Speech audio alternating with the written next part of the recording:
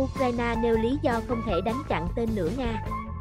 Tên lửa siêu thanh Onip được Nga dùng tập kích Odessa có tốc độ cao và khả năng bay bám biển, khiến quân đội Ukraine không thể đánh chặn.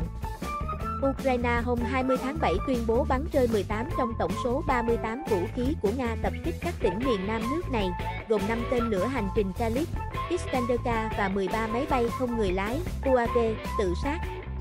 Tuy nhiên, quân đội Ukraine không chặn được mục tiêu nào trong 7 tên lửa diệt hạm siêu thanh P, 800 Onix và 4 quả đạn cờ hờ 22 được Moskva sử dụng trong đòn tấn công.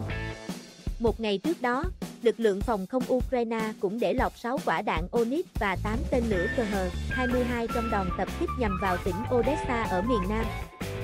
Onix có tốc độ gấp 2,6 lần âm thanh, tương đương 3.200 km h các quả đạn thường bay ở độ cao lớn trong suốt hành trình để tiết kiệm nhiên liệu. Khi tiếp cận mục tiêu, nó sẽ hạ độ cao chỉ còn 10-15 m so với mặt biển. Điều này khiến hệ thống phòng không rất khó phát hiện và tiêu diệt Onix, phát ngôn viên không quân Ukraine Yuri Igak nói trong cuộc họp báo sau đó. Đại tá Igak thừa nhận các hệ thống phòng không trong biên chế Ukraine hiện nay gần như không thể đánh chặn tên lửa Onyx. Chúng tôi chỉ có thể tác động đến chúng bằng biện pháp tác chiến điện tử, đó là lý do một số tên lửa không đến được mục tiêu. Ông nói, Quan chức không quân Ukraine cũng cho rằng nước này cần củng cố lưới phòng không ở các tỉnh miền Nam, bằng cách triển khai những tổ hợp tên lửa hiện đại của phương Tây như Patriot và SAMP-T. Nga từng nhiều lần tuyên bố triển khai hệ thống tên lửa bờ Bastion P để khai hỏa tên lửa Onyx tấn công những mục tiêu có giá trị cao của Ukraine. Các đòn tập kích bằng tên lửa Onip dường như được tiến hành từ trận địa Bastion B trên bán đảo Crimea. Mỗi tổ hợp Bastion B gồm nhiều xe chở đạn kim bệ phóng đặt trên khung gầm bánh lốp, mỗi xe mang được hai quả đạn Onip. Tên lửa siêu thanh Onip có tầm bắn 600 đến 800 km.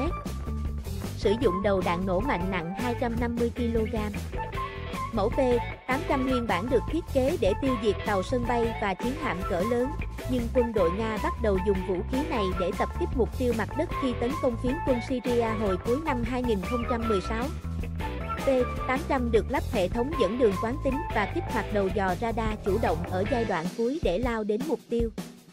Trong nhiệm vụ đối đất, Onyx có thể sử dụng hệ thống định vị vệ tinh GLONASS để tiến công mục tiêu cố định trên bản đồ hoặc dùng radar để bám bắt mục tiêu có độ tương phản cao so với môi trường xung quanh. Các bạn hãy đăng ký kênh để cập nhật thông tin miễn phí mới nhất.